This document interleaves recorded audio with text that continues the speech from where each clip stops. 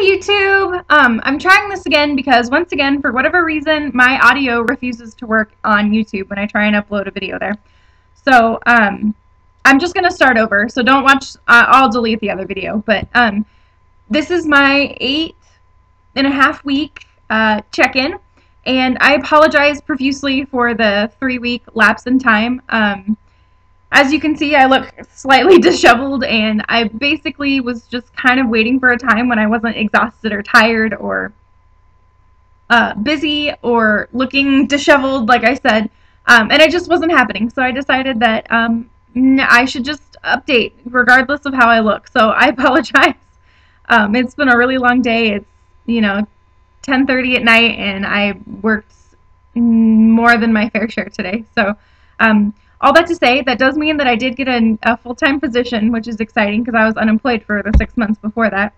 Um, and it's uh, the youth administrative assistant position at the, the church that I go to.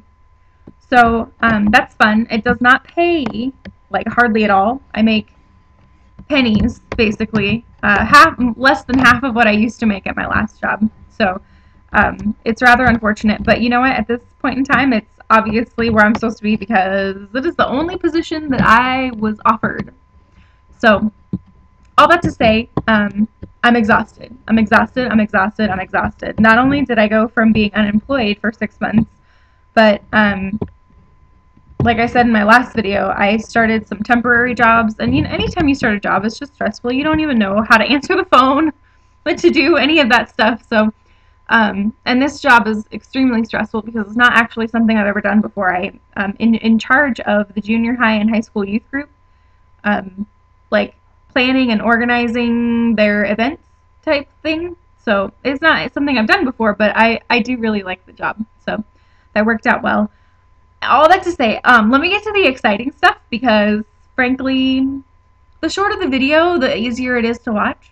So I'll at least get all the fun stuff done, and then if I want to keep yapping at you guys, um, you can at least be done if you're overhearing me babble. Um, I, like I said, it's been eight and a half weeks since surgery. I had surgery July 17th, gastric bypass, and um, I have lost 77 pounds in that time, which is awesome, and I'm super excited. Um, but I have lost a large child, and I'm still fat, and I don't like it. I don't like being still fat. Um, it's obviously much better than it used to be, and I will take 77 pounds. Like I'm ecstatic over that. Don't get me wrong, um, but I, I don't know. It's just it's hard looking in the mirror and seeing a fat person still after you've lost that much. And since April, um, when I weighed my heaviest, 331, I have lost 93 pounds, and that's basically a small adult.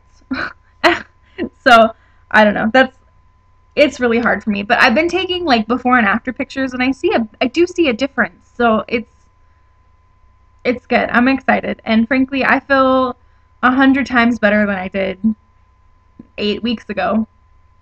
You know, just I can go up two flights of stairs and I'm hardly winded. Which before I would go up a flight of stairs and stuck in air like I had just run like half a marathon. So um, you know, there's awesome changes and things that I'm super excited about. So another thing is, is that I think I mentioned this last time that I was a pant size down, and I'm now officially down two pant sizes. So I start, um, and I'm 5'7". I know some of you people have asked, excuse me, have asked about how tall I am, and I realize I never told you guys. I'm 5'7", and I started out at 331, and I was a size 24, 26. I am now down to 238, and I'm a size 20, 22. It depends. I, you know, I was able to wear some. I'm able to wear most 20s. Some are too tight.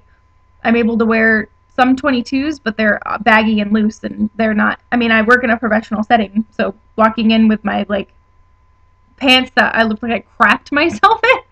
You know what I'm talking about when the butt of your pants like sags down, and you're like, kind of looks like I crapped myself. Um, maybe that's just me. I don't know. But so those are two really exciting things, and I'm down two shirt sizes. So um, thankfully, thankfully, thankfully, thankfully, I was delusional when I before I had surgery, and thought that I would get back down to my uh, my current weight without having to do surgery. I don't know. It was back before I had even thought about surgery. Anyway, I, all that to say, I saved all, not all, but a large majority of the clothes that I wore at those sizes. So I haven't had to actually buy any new clothes, which is fantastic. I mean, I'm wearing the same like five shirts, but it is what it is. And at least they're my clothes, and I know that I like them, and they fit pretty well. So uh, no complaints on that front. But I don't know what what do you guys do with your leftover fat clothes? Like, I don't necessarily want to get rid of all of them. One, I would like to be able to do like a before and after picture, like when I get down to my goal weight.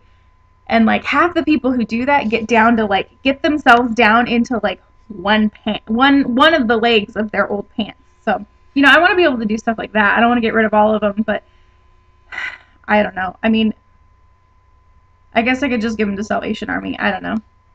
I don't know. Whatever. Um, I'm kind of just babbling to myself right now. So, some things that I've had issues with in the last three weeks are, um, I. It is a really hard habit to break to not eat your food you to like chew your food like five or six times basically to make it not whole and then swallow it um, it's been a that's been probably one of the hardest things for me to do only in that it's not that i don't like doing it. That's i mean i don't like doing it but it's more that um, i forget. I'm sitting there having a conversation with somebody and i just like swallow real quick after kind of chawing on it a couple times. And.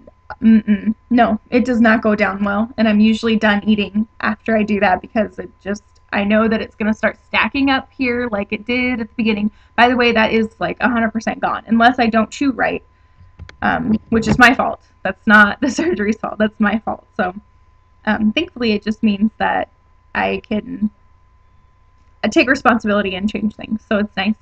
Um, the other thing is, is that I can drink normal water now normal water, unflavored, and it makes me so happy. I am actually drinking more now that I'm not drinking like the flavored Mio water, and I still like Mio, but I was kind I was getting sick of it. I don't know about you guys, but if that's all you're ever drinking, and you find a couple flavors that you like, you just kind of stick with them. It's yeah. So, needless to say, I'm very happy that I can drink normal water again. It does not upset my stomach, and that makes me happy. Um, some other things, I ate lettuce and cabbage for the first time today, and they both went down without a problem. But I do find that, like, I, for myself, like, I find a couple things that go down pretty smooth for me. Because I don't like being sick. I, you know, I've actually, I have thrown up twice. And it's not because of what I ate per se, because both times I threw up, I had actually eaten that exact same meal for the like the dinner before or something, you know, the night before. Um, and it was, went down fine, but sometimes things just do not settle well. I don't know why, and I um, would love to know why, but um, they just I don't know. I'm eating, I'm eating, I'm fine, everything's fine, and all of a sudden I'm like, oh, that this is not feeling good in my tum tum. Most of the time I'm fine, but like I said twice, I've gone and puked. Oh, oh, I just saw my ring here in um the thing. This is my high school class ring that I have not been able to wear for six years. And I have been wearing it this last week and it fits. Like it actually it's a little snug. It's a little snug, but it comes on and off. Nope. No problem. I say that grudgingly. But uh yeah, anyway, so that's another really exciting thing. Things that I just I thought that I would probably never wear again, and I'm wearing them and it makes me happy. And yeah. So now I need to go back and find like I have a couple other rings that I really, really, really love that I, I couldn't wear anymore. But I'm kind of rambling and I apologize. So um I think that kind of covers it. Feeling sick sometimes. But for the most part, things are so much better than they were when I first started back on solid foods two or th- three weeks ago when I started on solid foods, I was thinking, oh my god, I've made a mistake. Like, this is not going down well. I'm freaking out because I feel sick all the time, but it worked out. I'm everything's getting better. Uh, my vitamins are fine. I need to get. Oh, okay. So this is going to be a major TMI, and if you are a gentleman, you may want to stop watching at this point. I'm probably this is probably the last thing I'm going to talk about, so you don't need to worry about it. But this is for the ladies unless you're a creeper guy and you want to hear about this, which is fine, whatever, I don't care. But in the last eight weeks, I so I went into surgery and I was supposed to have started my period. Like the day of surgery, I was supposed to have started. Thankfully, I didn't. My body waited a week, which was really nice. And I had my period for a week like normal, and then I didn't have a period for a week. And then I had a period for a week. And then I didn't have a period for a week. And then I had a period for two weeks. So, of the last eight weeks, four of them I've been on my period. Which let me tell you, I have never felt more anemic in my entire life, and I'm not I'm not anemic. Like I'm kind of sometimes borderline anemic. Like I really like to chew ice, whatever. Um, you know, some of my blood tests have come back like really close to being actually anemic, but I've never actually come back as anemic. And anyway, all that to say, I need to find an iron supplement. I have not been taking my iron supplement because I couldn't find anything. I have heard a rumor that Walmart sells a chewable iron supplement, so I think I'm going to try and go pick that up. Um, but just be prepared. I'm cranky as hell, like as hell. I'm cranky. I blame that on the lack of food as well, because yeah, I'm hungry. No, I'm not hungry. That's not true. And I don't mourn food anymore the way I used to. I, I kind of went through my mourning period of like, I just want to eat some pizza. And I couldn't eat pizza, of course. I still can't eat pizza. I'm not allowed to eat carbs for six months. Let me tell you, it's easy to cheat that one though. If you take a couple bites and stop, it's you're you don't get sick. At least I don't. But I, you know, every once in a while, if I'm freaking out, like I let myself have like I don't know. The other day I let myself have two wheat thins, and like yesterday I let myself have um, one of the croutons on my salad. So you know, like I mean, it's nothing major, but nothing I'm proud of either. So I don't know. Anyway, I think I'm gonna go now because I'm just kind of babbling at this point, and it's late, and I need to go to work in the morning. So hopefully I can um, watch all of your guys's. It's been like a week since I've watched videos, so I apologize. Um, but hopefully I'll get caught up and I will uh, hear from all of you guys, okay? Talk to you later. Bye.